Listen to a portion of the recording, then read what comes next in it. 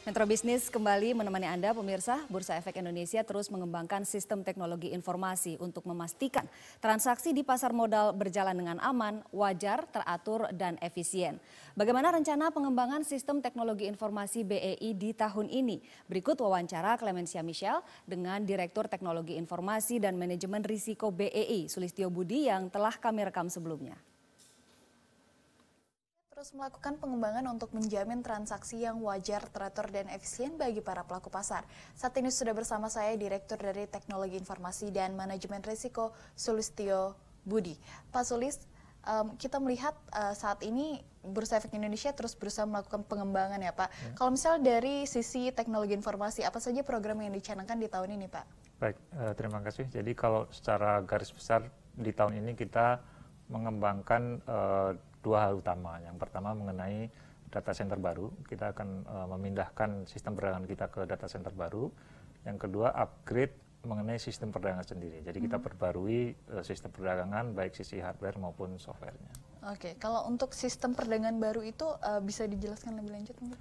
Sistem perdagangan baru. Jadi kita uh, saat ini seperti kita ketahui kita menggunakan sistem Nasdaq yang dibangun oleh Nasdaq. Uh, hmm. Sebagai informasi Nasdaq ini dulu di tahun 70-an merupakan uh, bursa pertama yang melakukan otomasi uh, transaksi gitu ya. Hmm.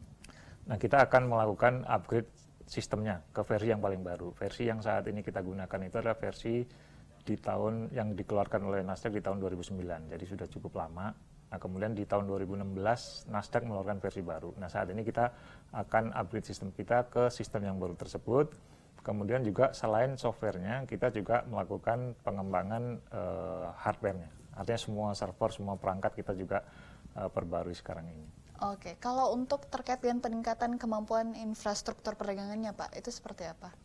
Jadi kalau dari sistem perdagangan ini uh, kita harapkan ada peningkatan performa yang cukup signifikan dari sisi terutama dalam kapasitas pemrosesan ya. Kalau hmm. saat ini sistem JAS itu mampu memproses order 5 eh, juta order, kemudian dua setengah juta transaksi. Ini di sistem yang baru ini eh, kira-kira akan menjadi tiga kali lipatnya. Jadi order yang bisa dimasukkan itu sampai 15 juta, kemudian transaksi yang akan terjadi sekitar tujuh setengah juta. Kemudian dari sisi kecepatan pemrosesan juga meningkat uh, cukup banyak juga gitu ya, yang saat ini sekitar 4.000 instruksi per detik itu akan menjadi kira-kira uh, eh, 12.500 instruksi per detik. Jadi cukup uh, signifikan perubahan performance kali ini. Iya. Kalau untuk fitur dan uh, teknologi dari sistem perdagangan ini mungkin ada pengembangannya Pak di tahun ini? Uh, sebetulnya yang kita lakukan juga saat ini adalah uh, data centernya. Jadi kita punya kita akan punya data center baru. Jadi kalau dulu itu orang punya data center itu sekedar punya ruang yang pakai AC, yang pakai UPS gitu ya. Nah pada saat itu kan kebutuhan akan komputer itu belum terlalu tinggi availability-nya, ketersediaannya. Nah perkembangan waktu sekarang ini eh, kebutuhan akan availabilitas komputer itu makin tinggi sehingga kebutuhan untuk data center juga makin tinggi sehingga perlu gedung itu dibuat khusus untuk data center kemudian fasilitasnya baik itu uh, power supply-nya, AC-nya segala macam itu akan dibuat untuk peningkatan availabilitas. Jadi nanti kita akan memindahkan komputer kita ini ke ruang server baru hmm. yang dikelola secara profesional oleh uh, pengelola data center yang memiliki beberapa data center di uh, beberapa negara gitu ya. Artinya yang tujuan utamanya adalah meningkatkan availabilitas data center ini menjadi sekitar 99,98 persen. Itu artinya kira-kira kalau dalam satu tahun itu uh, sistem maksimum bisa down itu sekitar satu setengah jam gitu. Jadi uh, dengan availability tinggi itu kita berharap kita memiliki keyakinan yang lebih tinggi terhadap sistem kita. Gitu. Oke, kalau dibandingkan dengan yang uh, terdahulunya nih Pak, apa um, poin kelebihannya gitu ya. Kelebihan. Jadi kalau dari sisi data center uh, jelas kan uh, kita saat ini menggunakan di gedung kantor kita gitu ya, yang secara desain gedung ini tidak didesain untuk data center, tapi didesain untuk perkantoran gitu ya. Hmm. Tapi kita mencoba uh, membuat data center di tempat ini gitu ya. Nah, yang pertama itu ya, yang pertama dari sisi tempatnya gitu. Yang kedua dari sisi pengelolaannya. Selama ini kan kita kelola sendiri, hmm. artinya kita sendiri kan uh, punya keterbatasan untuk ke pengelolaan tempat gitu ya, sehingga kita serahkan kepada pihak yang memang punya kompetensi, punya pengalaman untuk mengelola data center. Itulah uh, data center yang baru. Oke, okay. Pak kalau terkait dengan uh, adanya fenomena online trading pada saat ini yang hmm, banyak hmm, digunakan hmm. nih Pak untuk yeah. memudahkan uh, transaksi investor di pasar modal, sebenarnya apa hal-hal yang harus diperhatikan supaya uh, berjalan aman transaksinya Pak? Um, sebetulnya uh, saya kira ini hal-hal yang umum harus dilakukan ketika melakukan online trading gitu ya, baik itu uh, online transaction lah apa pun, entah di perbankan, belanja maupun online trading untuk uh, jual beli saham gitu ya. Yang pertama memang uh, bisa juga dikonfirmasi langsung dengan AB-nya gitu ya, anggota bursanya bahwa sistem yang mereka gunakan itu cukup aman gitu ya. Yang kedua, dari sisi pengguna ya standar lah artinya kalau paspor ya jangan ditulis di mana-mana gitu harus disimpan dengan baik, diperbarui dengan rutin gitu ya. Kemudian untuk meyakinkan bahwa websitenya itu adalah memang websitenya dia bukan uh, website yang tempat lain gitu ya. Kemudian juga uh, kalau khusus untuk transaksi bursa ini kan investor itu menggunakan anggota bursa. Mm-hmm. Anggota bursa itu setiap bulan akan mengeluarkan uh, statementnya. Nah, itu harus dicocokkan juga. Kemudian selain itu juga di PT KSE itu mereka menyediakan namanya fasilitas akses. Fasilitas akses itu semua investor bisa langsung melihat ketika bertransaksi setiap hari dia bisa melihat akan ada pergerakan sahamnya atau jual atau beli itu bisa ada di dalam catatan itu. Jadi secara rutin investor bisa mengecek di sana. Gitu. Oke, terima kasih banyak waktunya untuk uh, perbincangan ini Pak Sulis. Sama-sama. Demikian perbincangan saya dengan Direktur dari Teknologi Informasi dan Manajemen Resiko Bursa Efek Indonesia. Kembali ke Anda di studio.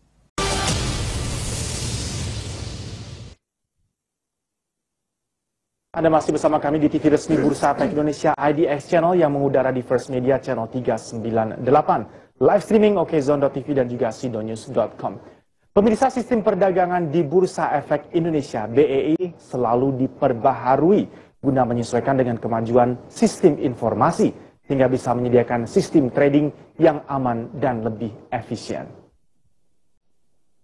Sejak tahun 1995, proses perdagangan di Bursa Efek Indonesia telah dilakukan dengan sistem yang terkomputerisasi yang disebut dengan JATS atau Jakarta Automated Trading System, JATS. Sistem ini beroperasi berdasarkan sistem tawar-menawar atau auction dan secara terus-menerus selama periode perdagangan berlangsung. Lantas, setelah 21 tahun kemudian perkembangan banyak dilakukan, setelah Jakarta Automated Trading System JATS, JATS diterapkan pada 95, maka sejak 2 Maret 2009, sistem JATS JATS digantikan dengan sistem baru bernama JATS Next G pada 2010, BEI menerapkan juga fully remote trading dan menutup trading floor yang biasanya mengakomodasi pialang-pialang saham yang ada di lantai bursa. Pada 2012, sistem JATS Next terhubung secara real time dengan sistem KPEI dan pada 2016 lalu, perdagangan future LQ45 sudah bisa dilakukan melalui JATS Next G.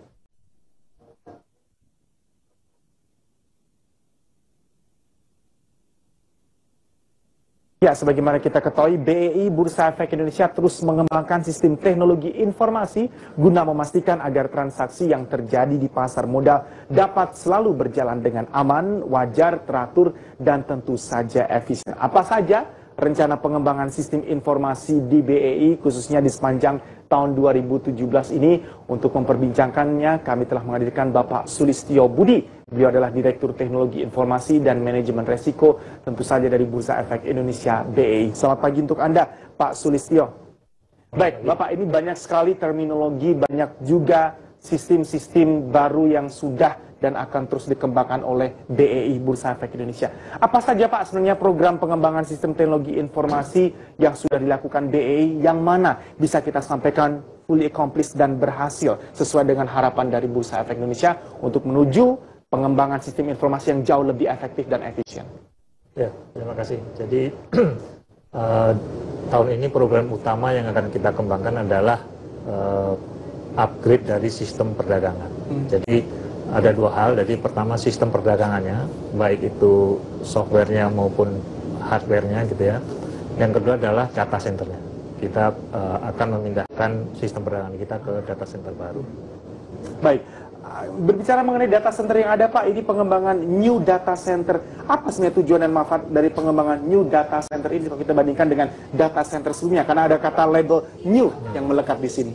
Ya, benar. Jadi sebenarnya new itu bukan berarti uh, data center yang baru, gitu. tapi kita akan menggunakan data center yang secara spesial didesain untuk data center. Jadi seperti kita ketahui kalau dulu itu kalau orang punya server itu cuman pokoknya ada tempat yang menggunakan AC, menggunakan UPS gitu ya, dia akan dipakai sebagai ruang komputer gitu ya. ya. Nah, sejalan dengan waktu, orang lebih menuntut availability system. Karena ya. orang mau menggunakan sistem itu untuk mission critical sistem mereka gitu ya. Nah, kita sudah menggunakan, kita saat ini menggunakan uh, kantor kita sebagai tempat uh, menyimpan server kita gitu ya. ya. Kita sudah uh, apa namanya lakukan beberapa, beberapa hal untuk meningkatkan availability data center kita gitu ya. Tapi uh, tuntutan sekarang ini makin tinggi untuk availability system sehingga uh, perlu data center yang memang gedungnya didesain khusus untuk data center, yeah. dimanage oleh uh, profesional yang memang punya pengalaman, punya uh, apa namanya kom kompetensi untuk mengelola data center ini, sehingga uh, nantinya kita akan menggunakan data center yang dikelola oleh uh, perusahaan yang sudah profesional yang sudah memiliki beberapa data center di berbagai negara gitu ya. Apakah ini suatu yang klasifat untuk dibagi informasinya di mana lokasi new data center dari pasar modal kita Pak khususnya BEI?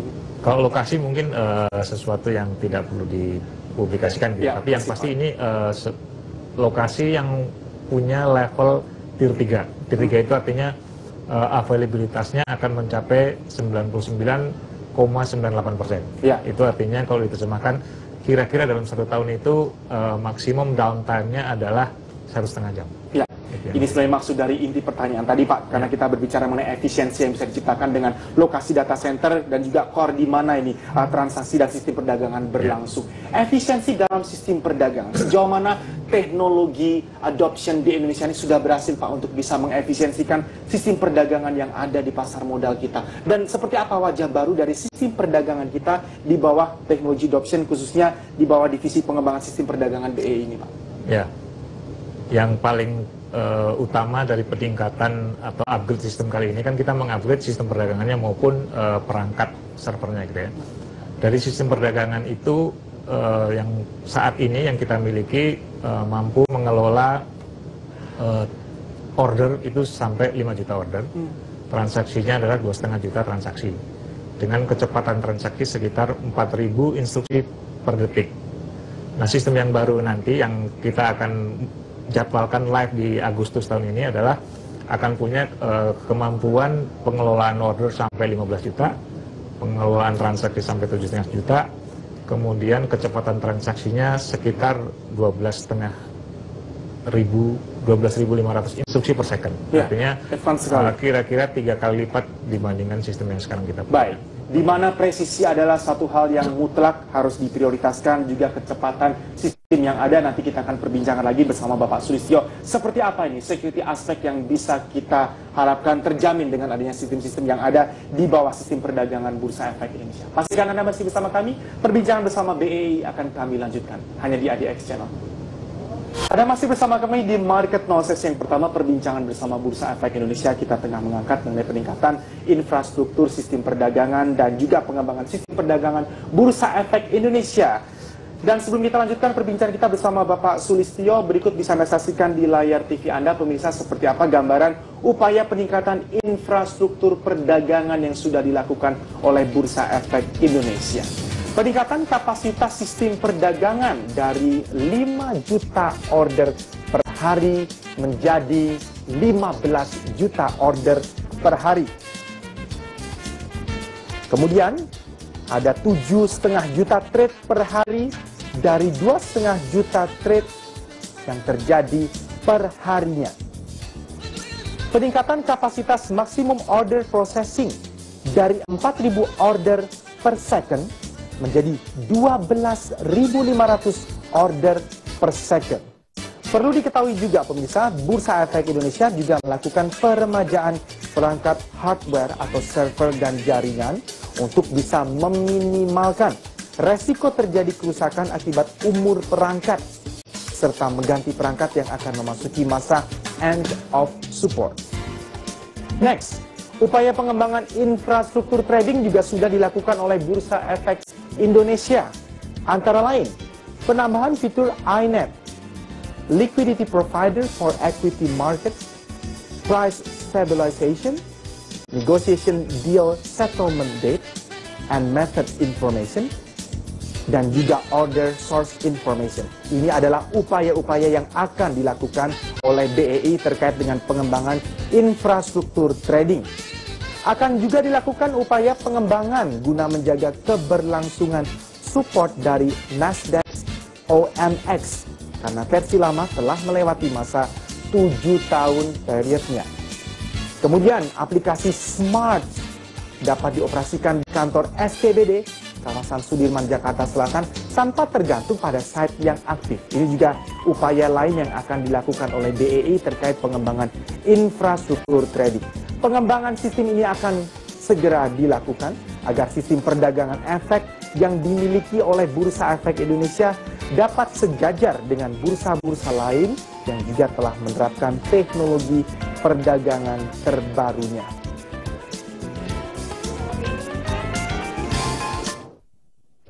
Baik, Bapak Sulistio Budi, Direktur Teknologi Informasi dan Manajemen Risiko dari BEI masih bersama kita di IDX Channel. Pak Sulistio, bisa dijelaskan lebih detail Pak mengenai upaya peningkatan infrastruktur perdagangan, termasuk juga ini upaya-upaya yang akan segera dilakukan terkait dengan pengembangan infrastruktur trading yang sudah ada di BEI, Pak Sulistio.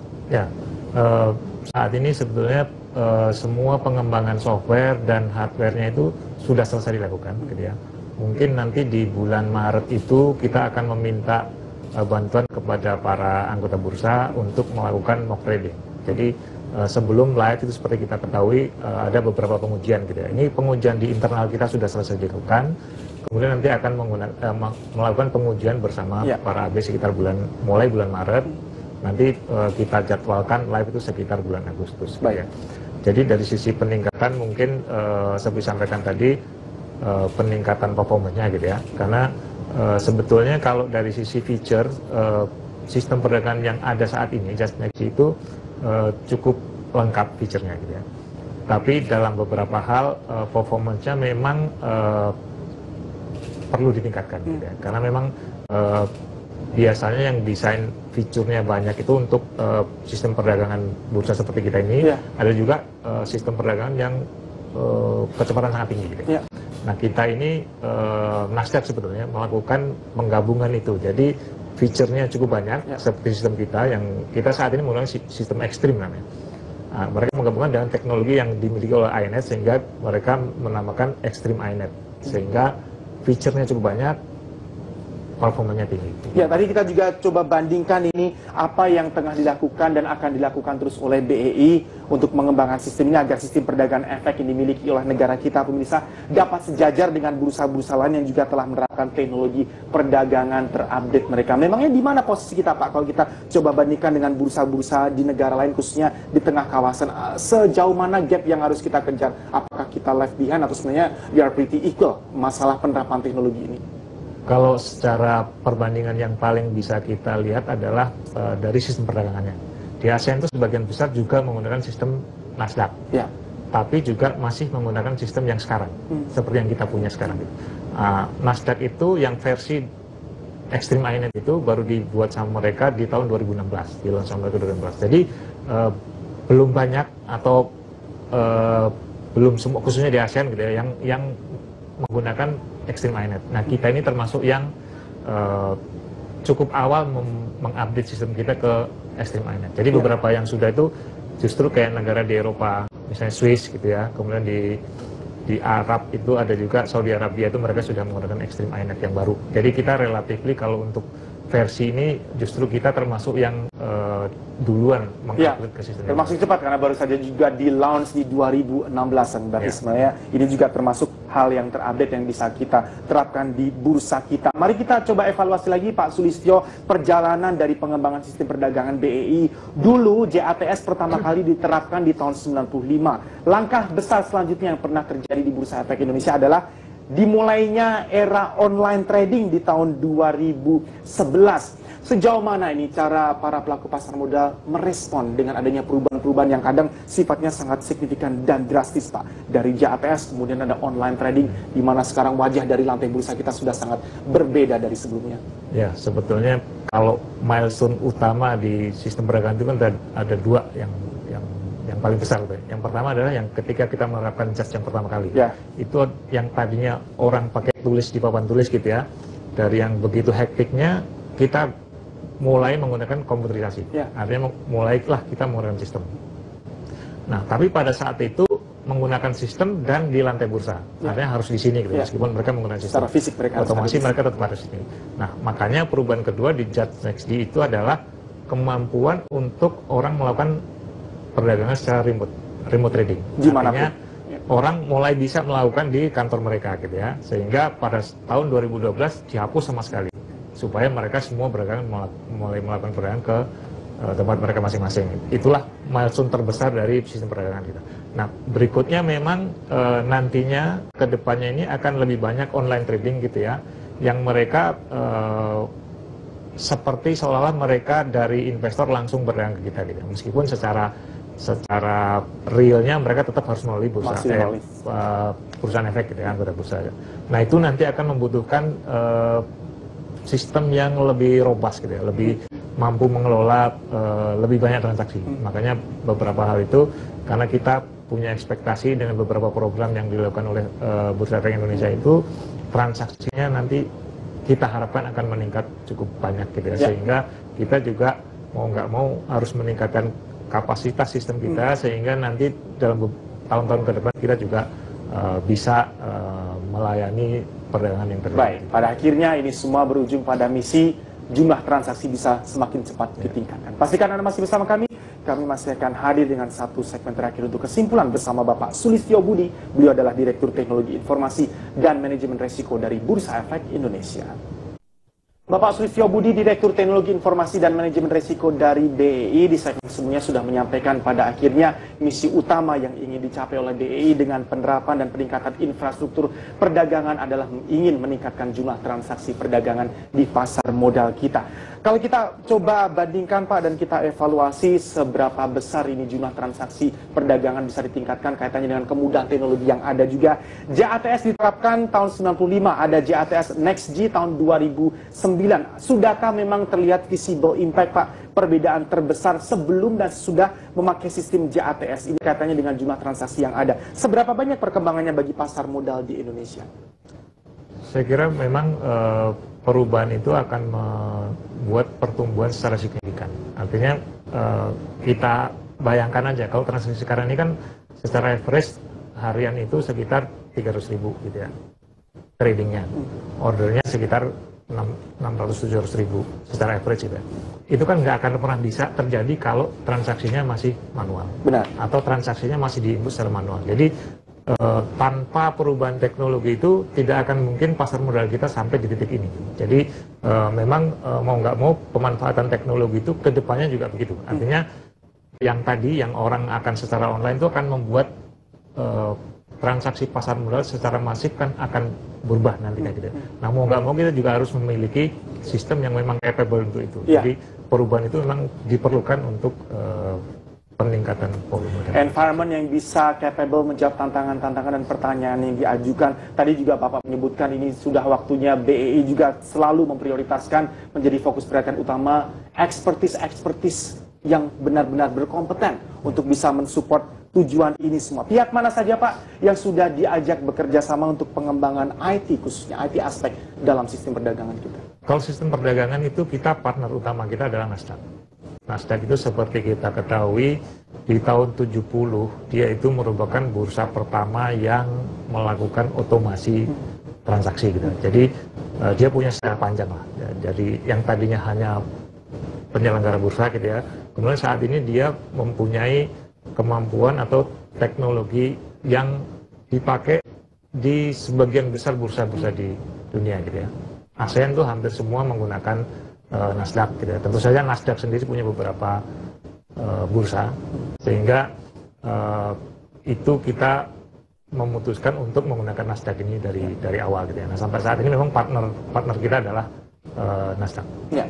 Kalau kita berbicara mengenai sistem, apalagi segala sesuatu yang sudah sangat terkomputerized dengan sophisticated dan advance, anyway selalu ada plus dan minusnya Pak. Kalau kita berbicara mengenai menerapkan sebuah sistem di satu negara dengan negara yang lain, adakah ini kekurangan-kekurangan yang akan ditutupi atau yang harus kita ketahui ini terkait dengan penyesuaian atau adjustment mungkin sesuatu berupa weaknesses dari sistem tersebut yang diterapkan di Indonesia? Ya, kan yang yang utama yang tadi ya, ini uh, sistem itu update yang paling utama adalah performance. Karena feature dari sistem perdagangan kita yang ada saat ini relatif sudah cukup lengkap gitu ya. Memang ada juga beberapa hal yang tadi sudah sebutkan uh, mengenai liquidity provider dan sebagainya itu adalah eh, feature-feature uh, tambahan gitu. Ya. Juga uh, yang saat ini tidak ada yang uh, nantinya akan bisa kita kembangkan juga adalah misalnya uh, pembatasan porsi asing yeah. yang di yeah. sistem yang sebelumnya kan tidak bisa dilakukan yang nantinya akan bisa dilakukan walaupun kita tidak terapkan di, di awal implementasi ini. Kemudian juga uh,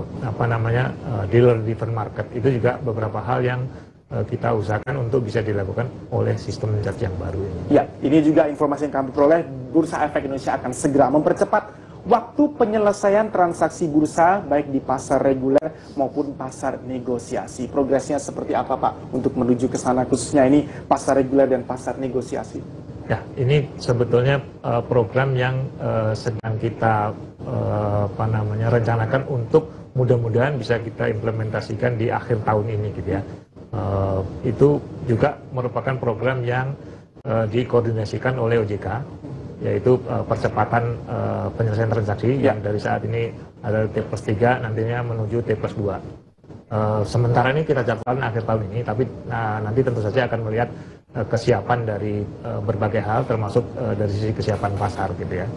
Baik, presisi, kemudian ketepatan dan juga efisiensi yang diharapkan bisa dicapai dari penerapan teknologi ini banyak juga yang menanyakan mengenai aspek keamanan yang ada Pak. Apalagi ini juga kita mempunyai misi besar untuk mengencourage semakin bertumbuhnya online trader di pasar modal kita. Soal online trading ini Pak, dari Bursa Efek Indonesia mungkin ada semacam tips dan strategi apa saja yang harus saya perhatikan sebagai seorang online trader atau mungkin online investor agar investasi saya selalu berjalan aman, ada security feeling di sana. Oke, dalam konteks uh, keamanan online tradingnya gitu ya. Jadi kalau secara umum ini adalah hal-hal yang perlu diperhatikan pada saat kita melakukan transaksi online mau apa pun mau perbankan mau uh, pasar modal maupun uh, e-commerce yang lain gitu. Ya.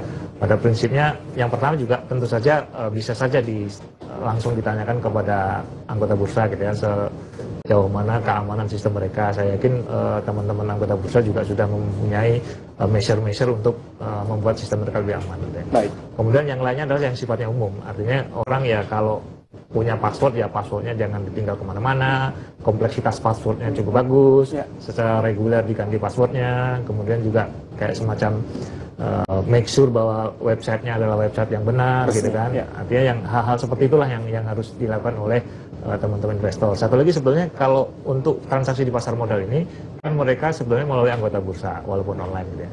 Sehingga kan setiap bulan atau secara rutin anggota bursa akan mengirimkan laporan kepada para investor itu harus selalu dicek juga. Kemudian yang kedua yang yang sangat bagus juga adalah fasilitas akses yang dimiliki oleh PT KSI.